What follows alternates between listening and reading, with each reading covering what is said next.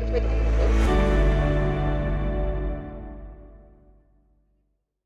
morning, everybody. Um, nice to see you this morning. You've all got a seat, and uh, uh, I've got my coffee as well. So I've got my coffee, and I can listen to Andrew. So coffee and Bible reading, Bible teaching. What a wonderful combination! Wonderful combination. Uh, we were thrilled uh, yesterday um, with uh, Elijah and some familiar passages that we saw afresh.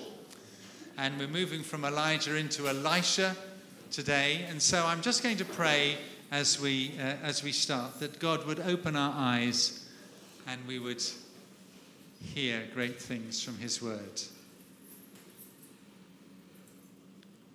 Psalm 119, verse 18 says this Open my eyes that I may behold wondrous things out of your law.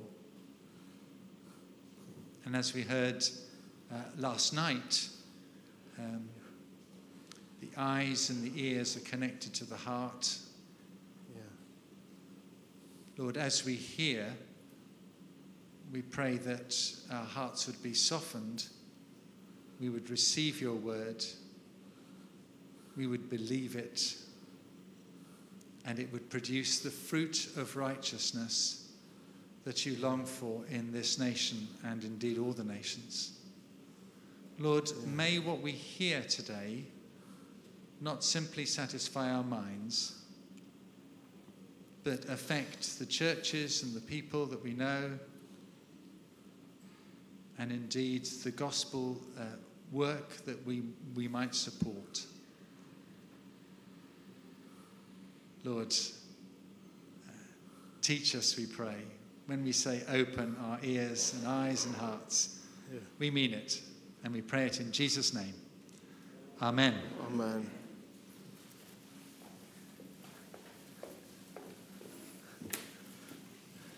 Thanks very much, Steve. Um, thanks for coming back, or welcome to anyone who's here for the first time. We've got um, lots to do today again. We're going to be busy. Um, let's just start with a bit of revision from yesterday, and we'll revise by means of going through the first two verses of the rap. Okay, so.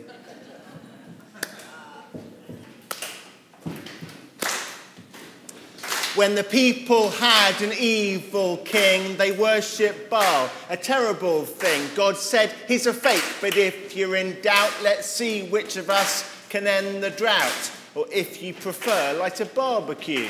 What's wrong, Baal? Are you sleeping? Have you gone to the loo? When the people see the fire, they exclaim, The Lord, He is God, and it starts to rain. Ahab and Jezebel won't repent, so miserable Elijah to sign Sinai sent. But God's not in earthquake, fire, or wind.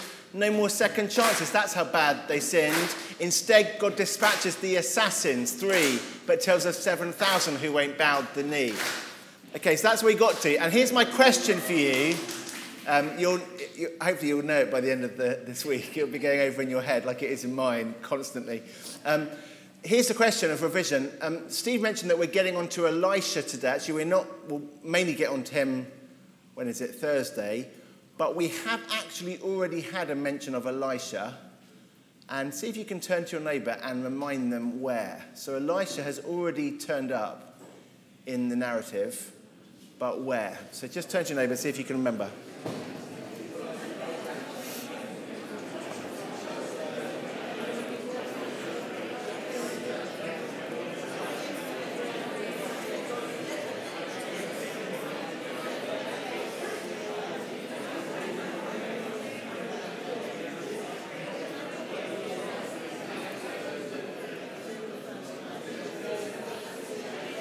Okay, that's enough time. If you know, you know.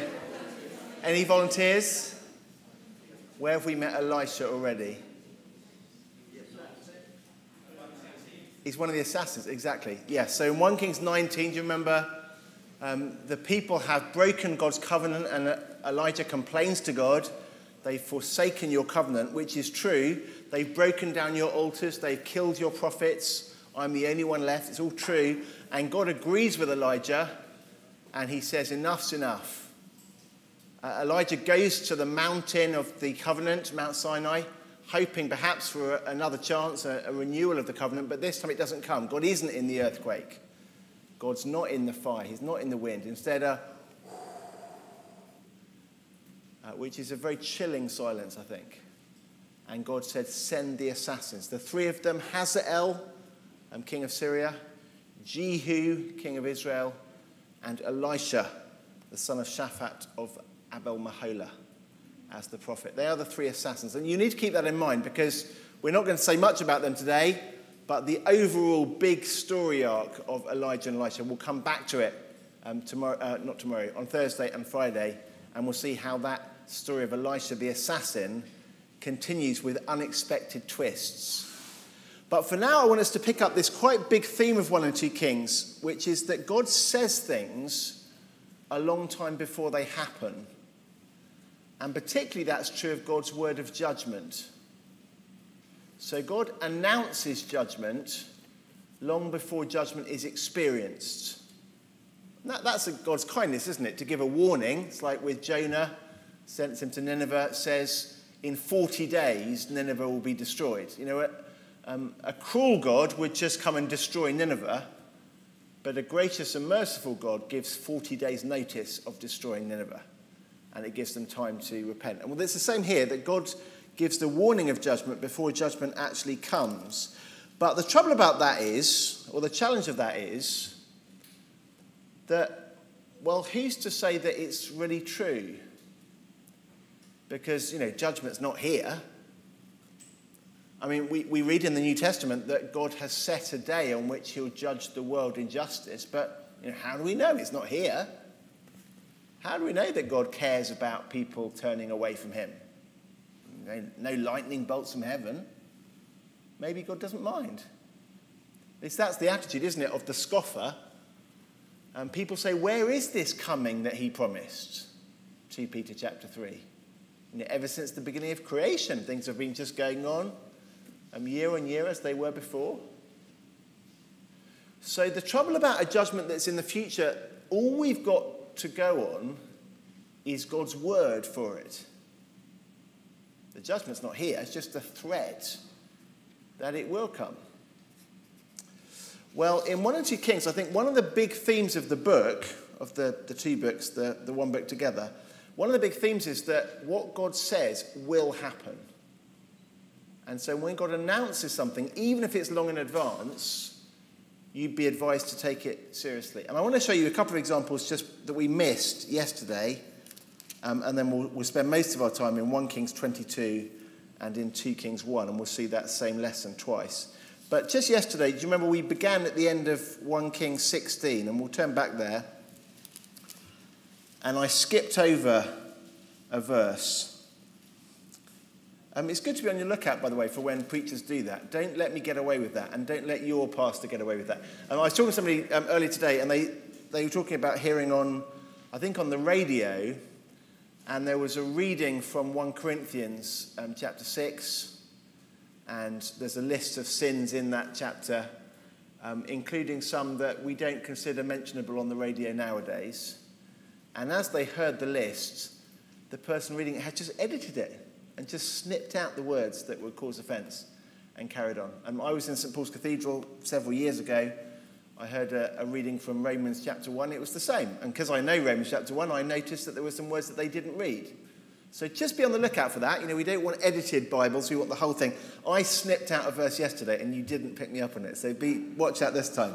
So, um, 1 Kings 16, verse 29. We saw this yesterday, and we'll go for the verse that we missed out as well. So, 1 Kings 16, verse 29. In the 38th year of Asa, king of Judah, Ahab, son of Omri, became king over Israel. He reigned in, in Samaria over Israel for 22 years. Ahab, son of Omri, did more evil in the eyes of the Lord than any of those before him. Do you remember his first entry in the Guinness Book of Records? the most evil king. He not only considered it trivial to commit the sins of Jeroboam, the son of Nebat, um, the king that put the two golden calves um, in Israel, but he also married Jezebel, daughter of Ethbaal, king of the Sidonians. He began to serve Baal and worship him. He set up an altar for Baal in the temple of Baal, that he built in Samaria, Ahab also made an Asherah pole and did more to arouse the anger of the Lord, the God of Israel, than did all the kings of Israel before him. Chapter 17, verse 1 Now Elijah the Tishbite from Tishbe in Gilead said to Ahab, As the Lord, the God of Israel, lives, whom I serve, there'll be no rain. I've done it again, right? I've done it again. Uh, so, why do we get in between the description of Ahab's idolatry, worshipping a, a storm god, and then God's announcement in judgment of the drought, why do we get chapter 16, verse 34? Chapter 16, verse 34. In Ahab's time, Hiel of Bethel rebuilt Jericho. He laid its foundations at the cost of his firstborn son Abiram and set up its gates at the cost of his youngest son Segub, in accordance with the word of the Lord spoken by Joshua, the son of Nun.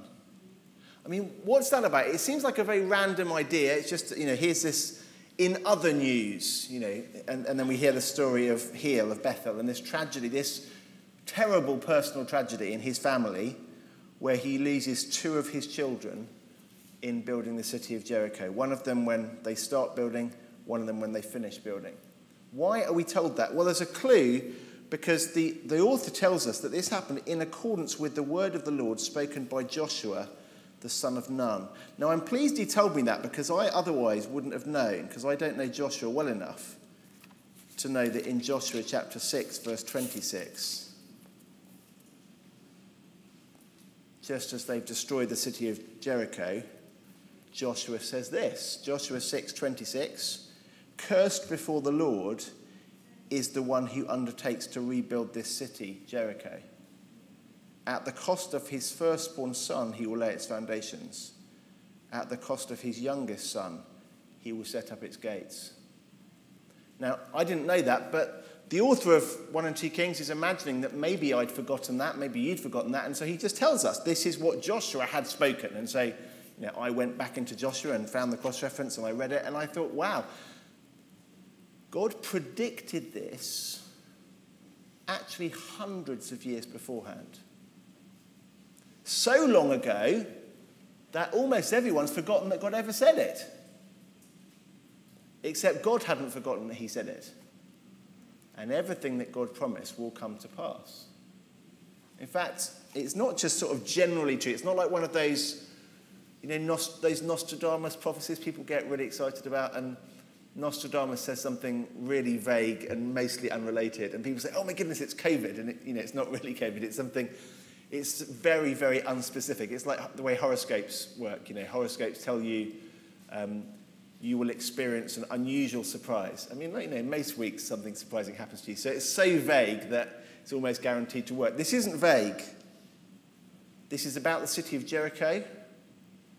It's about two sons that you will lose if you rebuild it in this particular order. The firstborn when you start the city, the youngest when you finish the city. And that is what happens exactly. Now, why are we being told that here? Well, it's just before Elijah pronounces a word of judgment. It's not going to rain. And the question is, why, why should you take that kind of announcement seriously? I mean, I could say that today, couldn't I? I look out the window, I see it's very sunny, and I say, it's not going to rain today. And you say, wow, you know, we've got a prophet. Yeah, it's, not, it's not very impressive, is it, to look out the window on a sunny day and announce that it's a sunny day?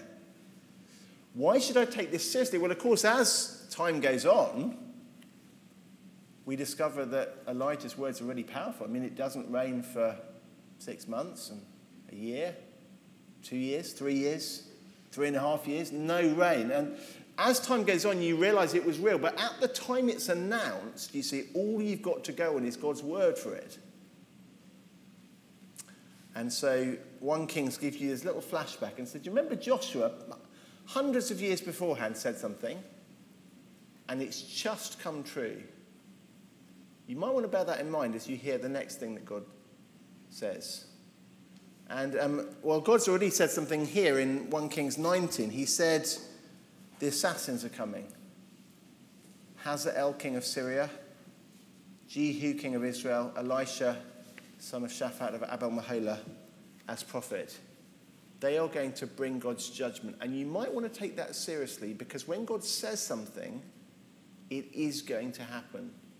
That's the, the theme of today's studies. And I think it's a big theme of 1 2 Kings. It happens actually many other places I haven't got time to show you. But we're going to spend most of our time just in these two in 1 Kings 22 and then in uh, 2 Kings chapter 1.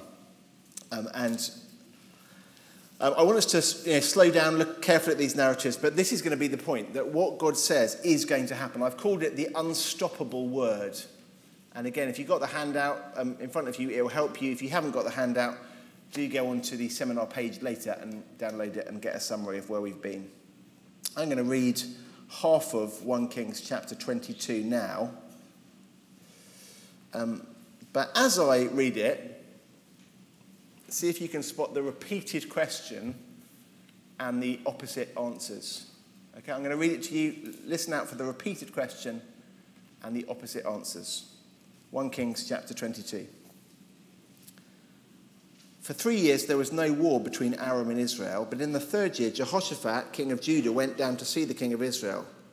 The king of Israel had said to his officials, Don't you know that Ramoth Gilead belongs to us, and yet we're doing nothing to retake it from the king of Aram? So he asked Jehoshaphat, Will you go with me to fight against Ramoth Gilead? Jehoshaphat replied to the king of Israel, I am as you are my people as your people, my horses as your horses. But Jehoshaphat also said to the king of Israel, First seek the counsel of the Lord. So the king of Israel brought together the prophets, about 400 men, and asked them, Shall I go to war against Ramoth Gilead, or shall I refrain?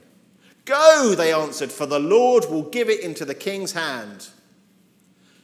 But Jehoshaphat asked, Isn't there any longer a prophet of the Lord here who we can inquire of? The king of Israel answered Jehoshaphat, Well, there is still one prophet through whom we can inquire of the Lord, but I hate him because he never prophesies anything good about me, but always bad. He is Micaiah, son of Imlah. The king shouldn't say such a thing, Jehoshaphat replied. So the king of Israel called one of his officials and said, Bring Micaiah, son of Imlah, at once. Dressed in their royal robes, the king of Israel and Jehoshaphat, king of Judah, were sitting on their thrones at the threshing floor, floor by the entrance of the gate of Samaria, with all the prophets prophesying before them. Now Zedekiah, son of Kenaiah, had made iron horns, and he declared, This is what the Lord says With these you will gore the Arameans until they are destroyed. All the other prophets were prophesying the same thing. Attack Ramoth Gilead and be victorious, they said for the Lord will give it into the king's hand. The messenger who'd gone to summon Micaiah said to him, Look, the other prophets, without exception, are predicting success for the king. Let your word agree with theirs and speak favorably. But Micaiah said, As surely as the Lord lives, I can tell him only what the Lord tells me. When he arrived, the king asked him, Micaiah, shall we go to war against Ramoth Gilead or not? Attack and be victorious, he answered, for the Lord will give it into the king's hand. The king said to him, How many times must I make you swear to tell me nothing but the truth in the name of the Lord? Then Micaiah answered, I saw all Israel scattered on the hills like sheep without a shepherd. And the Lord said, These people have no master. Let each one go home in peace. The king of Israel said to Jehoshaphat, Didn't I tell you that he never prophesies anything good about me, but only bad? Micaiah continued, Therefore, hear the word of the Lord. I saw the Lord sitting on his throne, with all the multitudes of heaven standing around him on his right and on his left. And the Lord said, Who will entice Ahab into attacking Ramoth Gilead and going to his death there? One suggested this, another that. Finally, a spirit came forward, stood before the Lord, and said, I will entice him. By what means? the Lord asked. I will go out and be a deceiving spirit in the mouths of all his prophets, he said. You will succeed in enticing him, said the Lord. Go and do it. So now the Lord has put a deceiving spirit in the mouths of all these prophets of yours. The Lord has decreed disaster for you. Then Zedekiah, son of Kenaiah, went up and slapped Micaiah in the face. Which way did the Spirit from the Lord go when he went from me to speak to you? He asked. Micaiah replied, You will find out on the day when you go to hide in an inner room. Then the king of Israel ordered, Take Micaiah, send him back to Amon, the ruler of the city, and to Joash, the king of king's son, and say, This is what the king says Put this fellow in prison Give him nothing but bread and water until I return safely. Micaiah declared, If you ever return safely, the Lord has not spoken through me.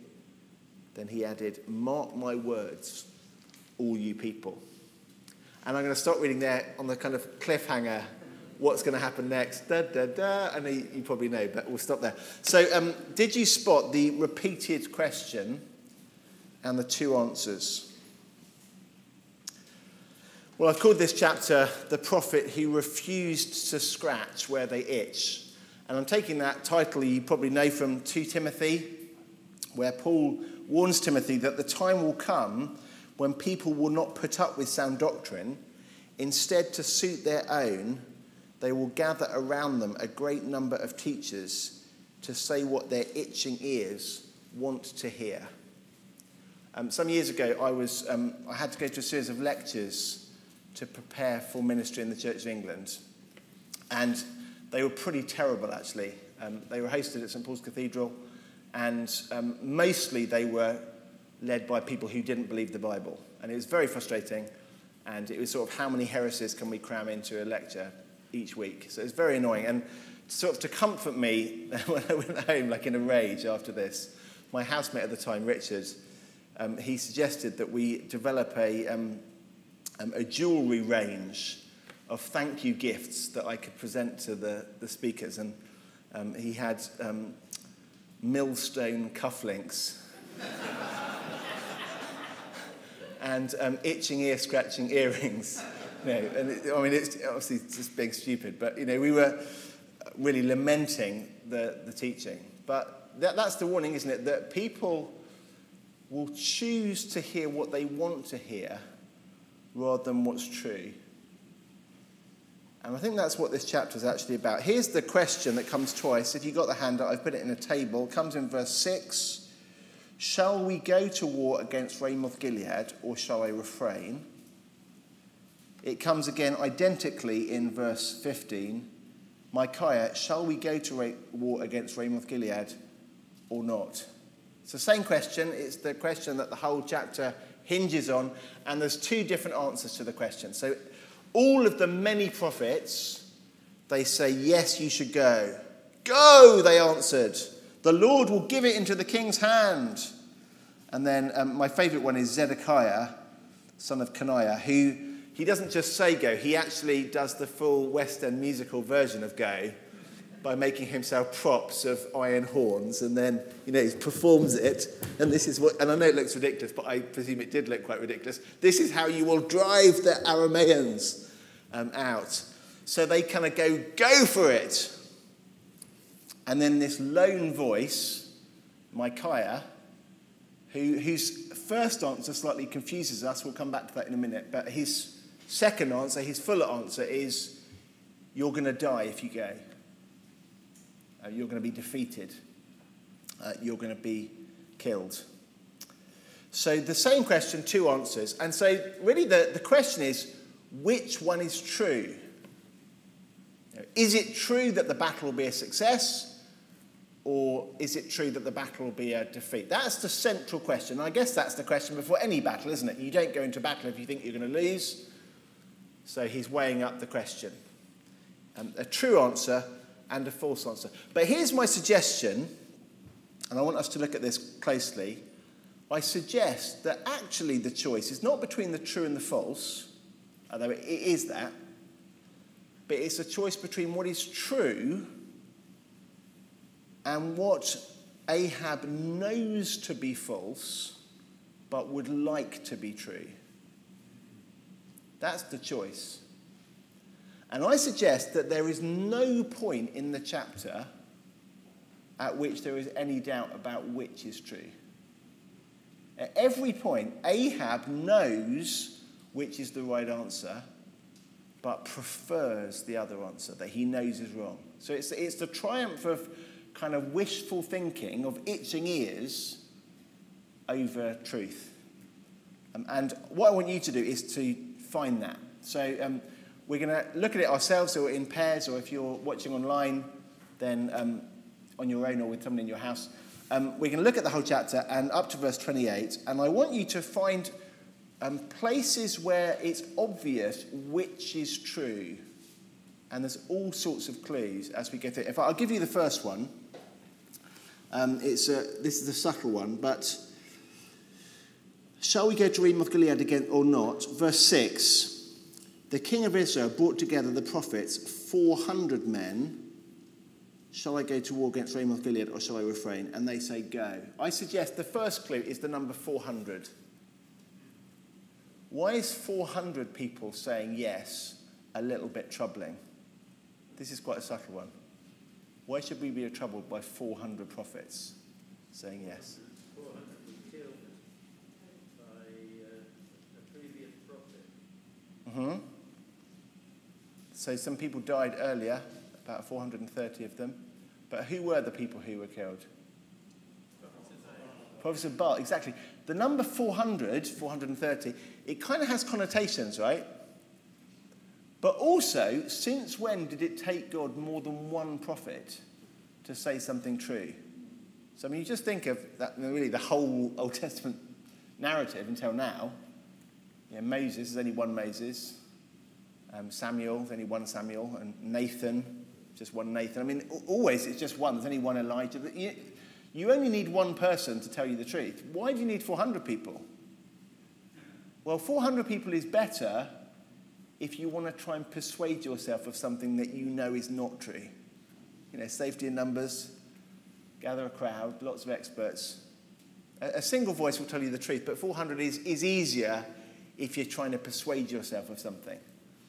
So I suggest even that first question, it's kind of obvious there's something fishy going on. And then Jehoshaphat's answer makes it even clear, doesn't he? Verse 7 Jehoshaphat sees straight through it, these 400 prophets, and he goes rather pointedly, Yeah, thanks everyone, but I was wondering whether there was a prophet of the Lord, which is quite pointed, as in whoever these 400 people are representing, it is not Yahweh. I guess they're 400 prophets of Baal, probably.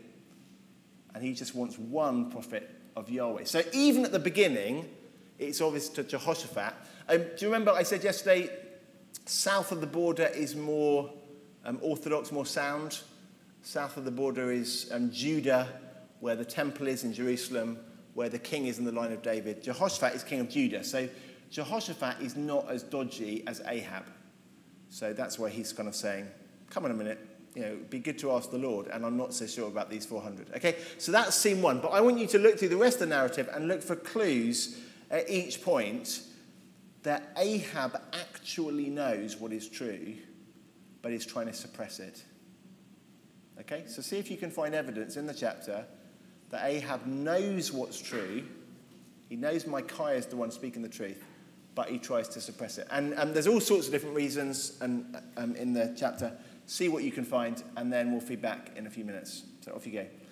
Um, maybe don't all go through in order. So some people start at the end, some people start in the middle, just so we, between us, we get a range of answers. Let me interrupt, and hopefully we can, we can pull our answers. So, any clues that Ahab knows which of them is true? Micaiah versus the others. Yes, sir. Yeah. He accuses Micaiah lying when he says what the others. Yes. Thank you. That's a very good. That's a very perceptive answer. This is the biggest puzzle for me of the chapter. When I first, well, not just when I first, when I second, third, fourth, for a lot of times reading it, I was stuck on this. If Micaiah is representing the Lord, and he even says, I'm not bound to peer pressure, he says, you know, um, what the Lord gives me, that is what I'm going to speak. So, you know, when they try and heavy him, come on, Micah, you know, be a good chap, agree with everyone else, don't rock the boat. He says rather bravely, Um, and I can imagine this being the kind of verse that preachers would pin on their pulpits. Maybe some people have done. Um, he says, verse 14, As surely as the Lord lives, I can say only what the Lord tells me. And that's a great verse for a preacher, isn't it? So you think, well done, Micaiah, you know, you're our evangelical hero. And then when he's asked the question, he bottles it. And he goes along with the 400. And you think, oh, Micaiah, what are you doing? How could you let us down so quickly? But actually, I think Micaiah's being quite sneaky because he, he smokes Ahab out, you might say. He, he causes Ahab to reveal his hand. I don't know whether he says it in a kind of sarcastic way. Shall we go to Ramoth Gilead or shall we refrain? Oh, yes, go. It will be so successful. I'm sure you'll be very successful there. And then Ahab says, Look, tell me the truth. And then, you know, the cat's out the bag, isn't it? Well, you know it's not the truth then, do you, Ahab? I mean, Ahab at that point has basically admitted that he knows all the 400 prophets are liars. So I think it's Micaiah being very tactical, very, very shrewd. Oh, you want to know the truth, he says, and then tells them the truth. Thank you very much. Brilliant. Um, yeah, we had a hand over there and then a hand over there. So over here, sir. Yeah, yeah. You don't get tone of voice, do you? But I think you can, you can infer that from the way that, um, the, the Ahab reacts to it. Thank you. At the back. Yeah, I was just uh, thinking there, maybe it's not so much Micaiah being tactical, but God at work. He wants to say, find out from Ahab, are you really um, listening to the truth, or are you going to just go with whatever you want to hear? So it's a sort of second stage, if you like, gossip, test, testing. Thank you. Yeah, I think I think both true. It's God's at work and God's at work. I think my personally, I think that Micaiah is being faithful, um, sort of consciously, but he gives the wrong answer as a test. As you say, the Lord is testing Ahab by that. Thank you very much. Um, yes. Um, the fact that uh, um, Ahab doesn't like Micaiah because he always tells him bad things, as if a prophet is there to just tell you good, good things. And you look back to the story yesterday, obviously Ahab knew there were bad things that went on, and his whole connection with Elijah was with Elijah prophesied bad things, he didn't like the troubler of Israel. And so if there is, if, if we only want to, if God's spokesperson to say the right, to say a nice thing, then we're in. Thanks very much. I'm going to repeat it just for those who are um, watching afterwards. So um, the gentleman said, um, his cri- Ahab's criterion for selecting a prophet is who says nice things about me. That is not a good criteria for truth telling. Know, so he's looking for flatterers rather than for truth speakers. And he, I mean, the fact he says it twice, you know, well, there's one guy we could ask, but I hate him because he always says bad things. And then when Micaiah delivers his prophecy, I mean, Ahab sounds like a child, doesn't he? See, told, I told you, this is what I said. You know, he's always saying bad things, like a child in a, in a sulk. And I mean, I think, sadly, um, you do sometimes find that in churches where people don't like their pastor because he, he says the hard things. He talks about God's judgment, this pastor. We don't like that. Um, I remember years ago, um, I, I preached for a friend. He was, um, to give him a holiday, he was a um, pastor of this church, and I, I went to cover a couple of weeks. He was quite new, and, and the church hadn't been evangelical previously. And I went to fill in. And I preached on, I can't remember, a psalm or something. And afterwards, um, someone in the congregation came up to me and, and sort of congratulated me in a very flattering way. He said, Thank you so much for that sermon, Vicar. You know, we don't hear much preaching like that anymore in this church. Um, and he's sort of puffing me up. He says, You see, because our new vicar, I mean, all he ever does is speak about Jesus. But we did enjoy your sermon. So, so I was- somewhat crushed by that, and I, I passed it on for the encouragement of the vicar, who I thought would be quite pleased. But, you know, I don't like this new vicar because all he ever does is speak about you know, judgment or sin or, you know, these negative things. But my, you know, Ahab, he looks very foolish. That, if that's his criterion for choosing who to hear, he just wants flattery. Thank you very much. Any others? There's more. Yes, thank you. When the messenger goes to summon him, he tells him what he's meant to say. Verse 13. Yeah, that's the puzzle, isn't it? The fact that Micaiah initially says what everybody else says. And that's what, that's what I was saying earlier. I think that's a kind of test, because it's not really the truth. And Ahab knows that, and then Micaiah gives him the actual truth. Well, I saw Israel scattered, um, like sheep without a shepherd. Yeah. Um, someone over here. I I was just going to say about the messenger as well. You, you wonder whether the messenger has been primed by Ahab. Okay, yeah. Yeah, so the civil service comes to you and says, you know, This is what we expect you to say. Make sure you toe the line. There'll be consequences for you if you don't. Um, and of course, by the end of the chapter, there are consequences. He's thrown into prison, given bread and water, um, smacked on the face by um, our West End musical friend, Zedekiah. Steve. Yeah, verse 4. Um, he gets Jehoshaphat to go along with him. And, it, and, and that's a sort of a tactic, I think, to, uh, to make him feel better about going. Yes, so an alliance, and I mean, Jehoshaphat, as we'll see shortly, is, I think, the most gullible man in the Bible. We'll see why a little bit. But yeah, he gets somebody more orthodox to side with him to ease his conscience. Um, let, let me just pull in a couple other ones. Um, this is the trickiest bit, I think, when Micaiah gives a fuller vision of what's going on in verse 19. And it's a really fascinating prophecy because he reveals a reality, a spiritual reality, that is unseen, but a kind of exact copy of what is going on on earth. So on earth, at this point, verse 10, dressed in their royal robes, the king of Israel and Jehoshaphat, king of Judah, are sitting on their thrones at the threshing floor, and prophets are coming before them. So you've got two thrones, and then all these prophets coming before them. Meanwhile, in heaven, the Lord is on his throne, and loads of people are coming up before him. So it's, this sort of parallel, unseen um, reality where everything's really going on. And um, God invites suggestions about how to entice Ahab. And the, the verb entice is interesting, isn't it? How do we put something so juicy in front of him that he can't resist it? And there's various suggestions. And then one spirit says, I'll entice him by being a deceiving spirit in the mouth of all his prophets. Now, this is tricky because I, I take it that this is a, an evil spirit, it's a lying spirit, it's not, a, it's not the spirit of God, who is the spirit of truth. And this is a, um, a wicked spirit. And yet, we see here, as we see in the book of Job, that God is in charge of the whole heavenly court. And even evil spirits, lying spirits, are subject to God's authority. So they have to, you know, ask permission, as, as Satan has to do in Job. You know, I'd like to inflict suffering on Job. Am I allowed to, please? So um, it's a similar picture here. This evil spirit volunteers, and God says, okay, you can do it. And people find that quite troubling. Why would God allow an evil spirit to deceive people? But I think here's, for me, this is the solution to it. Yeah, I mean, God does allow that. But then God also, through his true prophet, by the Holy Spirit, then tells Ahab about the plan. So it's not a very secret conspiracy. It's like um, Micaiah says, Oh, you should know that there's been a secret meeting about you in heaven.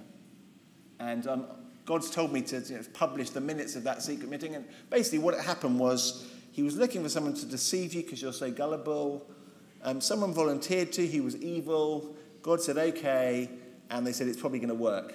Just thought you'd like to know. Right? So, I mean, Ahab has every opportunity. He, not only does he hear the deceiving words, but he knows they are deceiving words. He knows they come from an evil spirit. And he knows they're for his destruction because God has told him all of that. So to go against it now, I mean, you've really got to suppress everything you know to be true. And I, I think we do that, though, don't we? We know that temptation has a satanic origin. We know it leads to destruction, but you have to suppress both of those things if you then want to go with it. But we manage to do that sometimes. Well, here are the same steps that we take, I think. We gather a crowd, 400 men. All these people agree. It seems so reasonable. Here are even these professors of theology who agree. Safety in numbers. Uh, we avoid those who challenge us. We get the yes men, um, or we pressurize them to conform, or we persecute them. Uh, we ignore the spiritual realities. And then finally, let's read on from verse 29. The king of Israel and Jehoshaphat, king of Judah, went up to Ramoth Gilead. There's the decision made. Shall we go or not? Well, they decide to go. They went up to Ramoth Gilead. The king of Israel said to Jehoshaphat, I will enter the battle in disguise, but you wear your royal robes. I'm glad you're laughing. I find this. You see why I said that Jehoshaphat is quite gullible. So the king of Israel disguised himself, went into battle, and Jehoshaphat's like, okay. So, I mean, so here is Jehoshaphat with a big sort of target costume, effectively. and here's Ahab in disguise. But here's the question why wear a disguise? If you think you're going to win, then go into battle dressed as the king. If you think you're going to lose, don't go into battle but a disguise, it's like a trying to, a sort of hedged bet. It's like, I know God said this and he might be right, and so I need to somehow outwit God's prophecy, so maybe a disguise will work. See, it's a sort of, it's a halfway house that only the person whose conscience nags at them would do. And I think, again, that is the, the backsliding believer, isn't it? I mean, non Christian doesn't bother with a disguise, they just go for it in a brazen way. Um, and the uh, and the person walking with the Lord doesn't go there at all. But the half hearted backslider, they try to go halfway. well, the king of Aram had ordered his 32 chariot commanders don't fight with anyone, small or great, except the king of Israel. When the chariot commanders saw Jehoshaphat with his big target costume, they thought this must be the guy. So they turned to attack him. But when Jehoshaphat cried out in his southern accent. They thought, oh no, it's not him.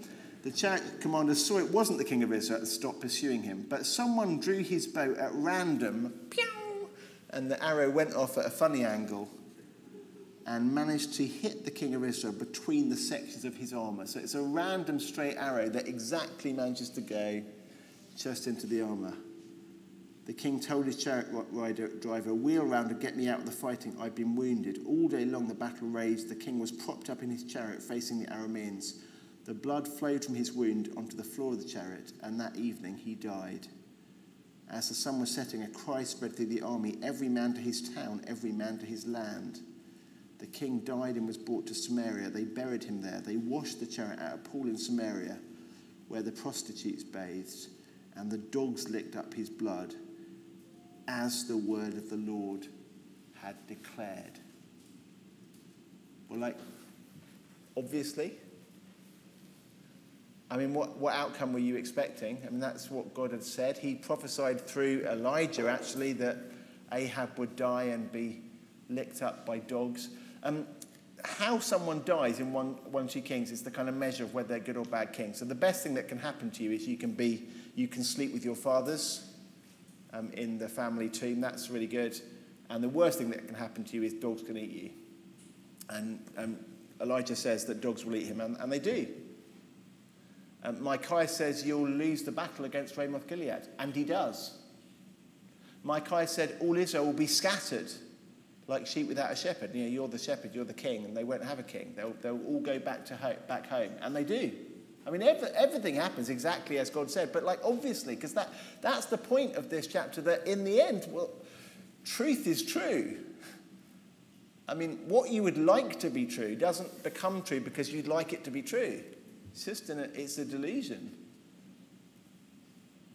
Um, and so we stick it into the big story of 1 and 2 Kings. God says judgment's coming, and that's true doesn't matter if you would prefer to think that there wasn't going to be a judgment, or you'd like to think that there isn't a hell, or you'd like to think that everyone will be saved in the end, or you'd like to think that the world will just go on as it has before. I mean, all these, they're just delusions because God said that He's fixed a day in which He'll judge the world with justice.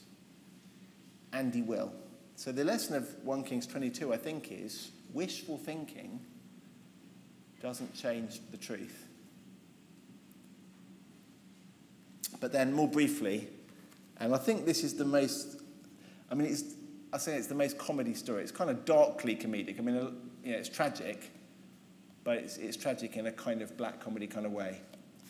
Um, we'll pick up from chapter 22, verse 51, and I'm going to read the whole thing.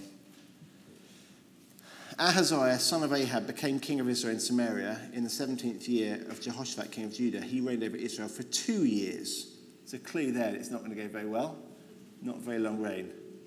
He did evil in the eyes of the Lord because he followed the ways of his father and mother, his father Ahab, his mother Jezebel, and the ways of Jeroboam, son of Nebat. Remember, he's the one who built the golden calves in Dan and Bethel.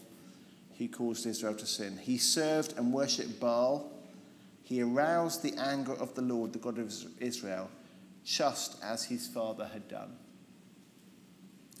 After Ahab's death, 2 Kings chapter 1, after Ahab's death, Moab rebelled against Israel. Now, Ahaziah had fallen through the lattice of his upper room in Samaria and injured himself.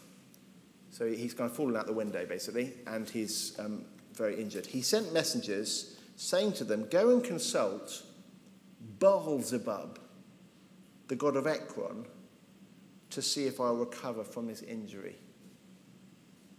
Wow. Okay, this, that, this is the king of Israel. He's got injured. He wants to go to see the doctor. Where, which, where do you go to the doctor?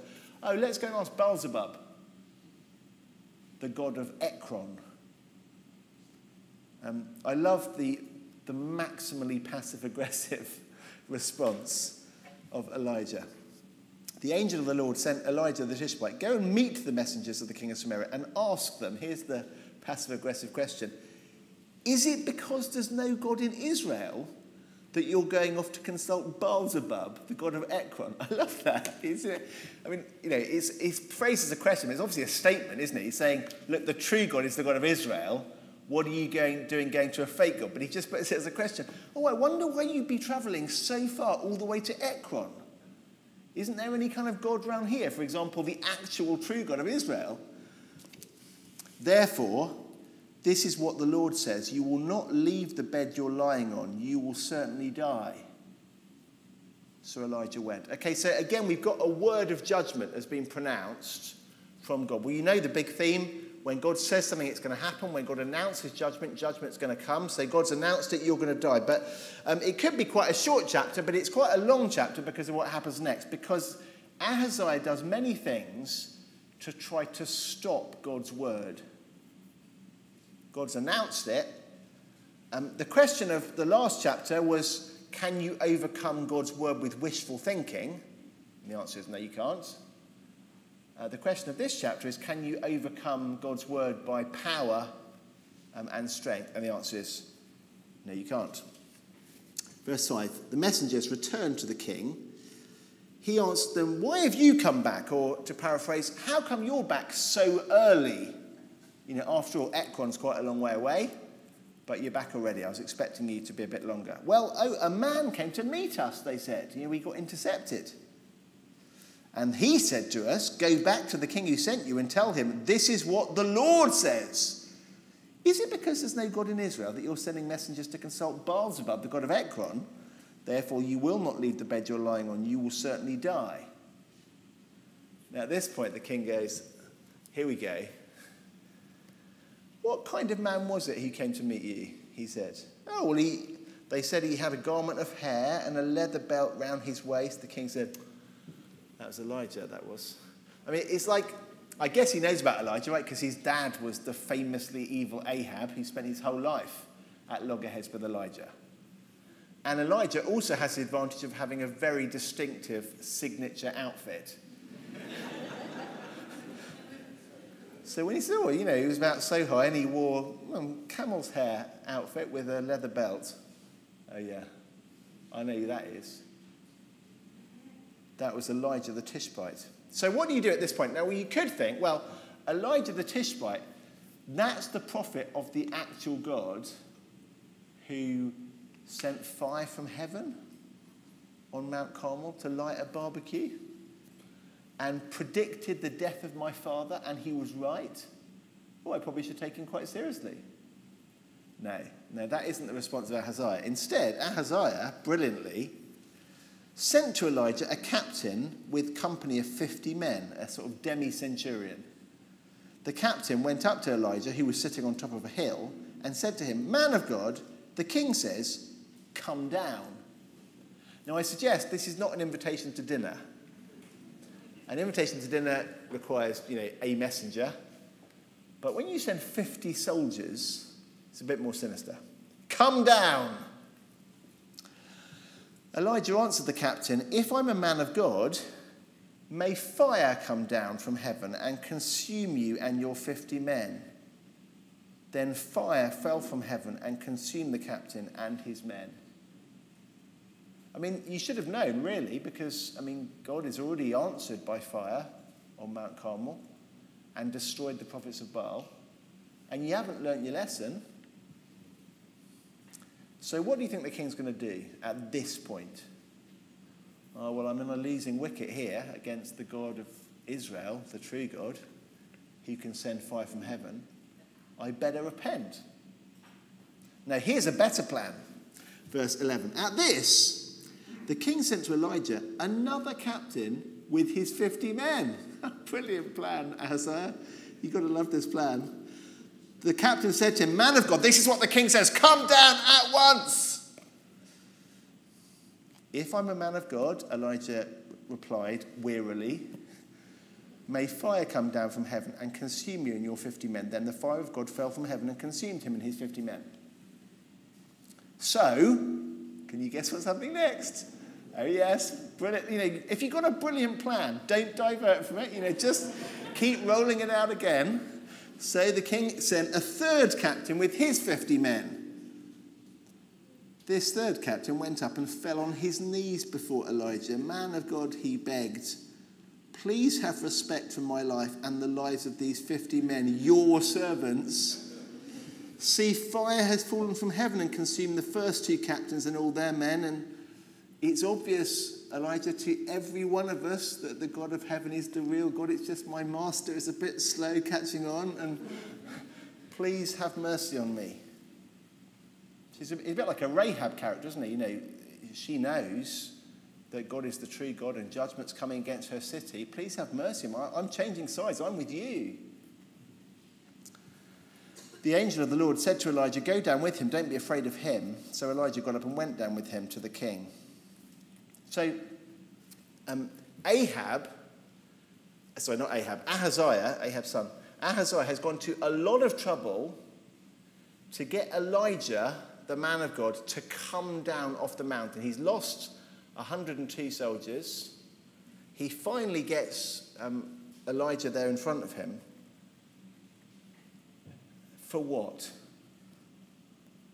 16, he told the king, This is what the Lord says. Is it because there's no God in Israel for you to consult that you've sent messengers to consult Baalzebub, the king of Ekron? Because you've done this, you'll never leave the bed you're lying on, you will die. So he died. I mean, which we knew back in verse 3, and which Ahaziah knew back in verse 6. So, you know, what have we achieved? Like, precisely nothing. This whole loss of the army, all these military maneuvers, only to discover that God's word is what he told you it was some verses earlier, and it's going to be true.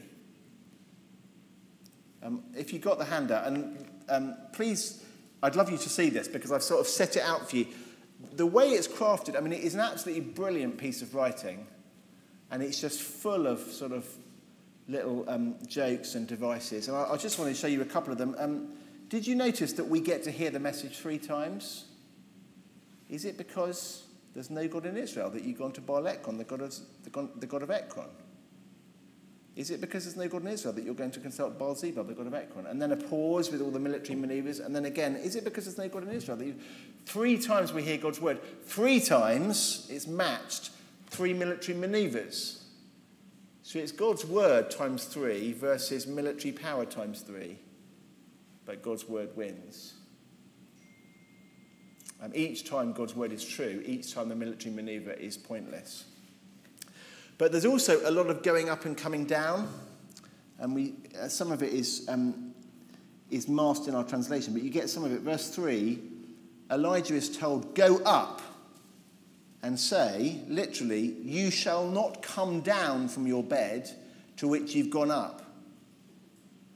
And then the king's messengers report that a man came up and said, You will not go down from the bed in which you've gone up. And then a captain went up and said to Elijah, Come down. Elijah said, Let fire come down. And fire came down. A second captain said, Man of God, come down. Elijah said, Let fire come down. And fire came down. A third captain went up and said, Please don't let fire come down. And the angel of the Lord says, It's safe for you to go down. So Elijah went down. And Elijah said to the king, You will not come down from the bed to which you've gone up, but you'll surely die. It's, it's, I mean, it's kind of comedy. Um, and the point is that what God brings down will come down, and what God lifts up will go up. And human pride will be squished, and the Lord alone will be exalted. And God's word will come true, and you can't stop it with wishful thinking. Um, and you can't stop it with military power. Um, a little summary and then a final postscript about bald men, which I, I couldn't resist for obvious reasons. Okay, so here we go.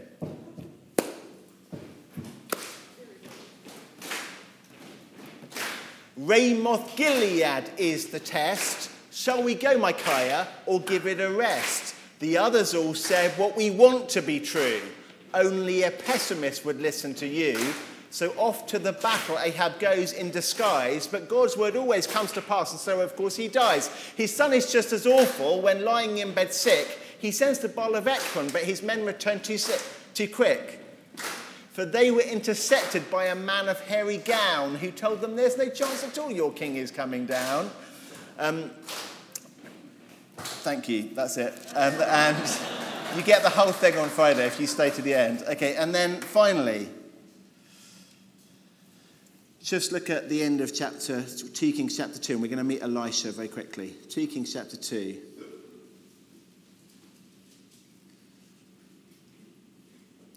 I read from verse 18. When they returned to Elisha, who was staying in Jericho, he said to them, Didn't I tell you not to go? The people of the city, the people of Jericho, said to Elisha, Look, our Lord, this town is well situated, as you can see, but the water is bad and the land is unproductive. Bring me a new bowl, he said, and put salt in it. So they brought it to him. Then he went out to the spring and threw the salt in it, saying, This is what the Lord says I've healed this water. Never again will it cause death or make the land unproductive and the water has remained pure to this day, according to the word Elisha had spoken. Um, that's amazing. And the most amazing thing about it is the place where it happens. There's a toxic water supply. Elisha miraculously cures it, but it's at Jericho. Do you remember? Cursed before the Lord is the one who rebuilds Jericho. He rebuild, he'll lay its foundation at the cost of his firstborn. Um, he'll lay it at the cost of his youngest. He'll set up its gates according to the word spoken by Joshua. And that comes true, and there's a tragedy in Jericho. But now, Elisha, this cursed city, he brings salvation. That's very surprising. We'll come to that more tomorrow. But then, um, verse 23 from there, Elisha went up to Bethel. Why is Bethel famous? I've mentioned it a couple of times before today. Golden calves, exactly. It's where the shrine is to the fake God. From there, Elijah went up to Bethel. He was walking along the Lord. Some boys came out of the town and jeered at him. Get out of here, Baldy, they said. Get out of here, Baldy. He turned round, looked at them, and called a curse on them in the, in the name of the Lord. Two bears came out of the woods and mauled 42 of the boys. And he went on to Mount Carmel and from there to return to Samaria.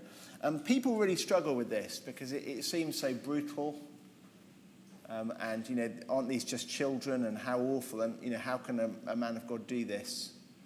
Um, just a couple of comments. Um, firstly, I mean, young men, I don't think children, I think just um, angry young men. And not just jeering at someone for being bald, but dishonoring a prophet.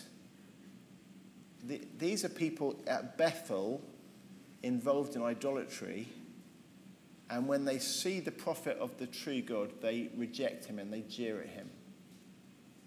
And he's an assassin. And it is shocking what happens, I'm not denying that. But again, I kind of want to say, what, what did you expect? I mean, God says there's, there's Hazael, king of Syria, and Jehu, king of Israel, and Elisha, uh, the son of Shaphat of um, Abel Meholah. They're going to come and kill everyone.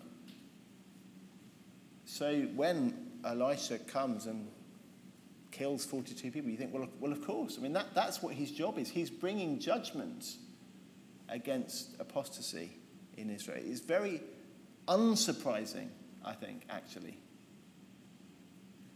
And yet, the very surprising thing is that the assassin goes and brings healing at Jericho.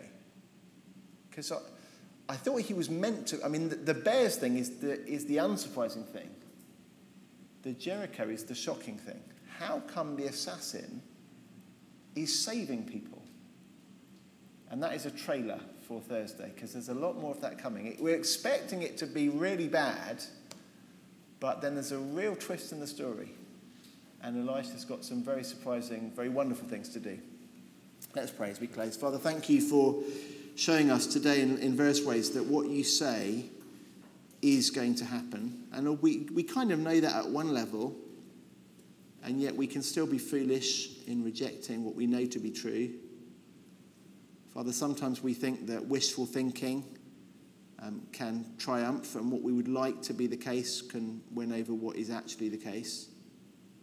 Sometimes we imagine that earthly powers might divert you or over, overwhelm you. And Lord, thank you for showing us in these chapters that actually your word is unstoppable. And that when you announce judgment, it is going to come. And so the only safe response is to, like this captain of his 50 men, is to turn to you and call for mercy, to seek refuge in your grace, to repent. And so, Father, in respect of your final prophecy, that you will judge the world by a man you've appointed, and of this you've given proof by raising him from the dead. Help us not to doubt that, Lord, not to mock or scoff at the promise of his coming, but to know that if you said it, it will happen. Judgment cannot be averted, and therefore the only safe response is to repent, to take refuge in, in you. For Jesus' sake, amen.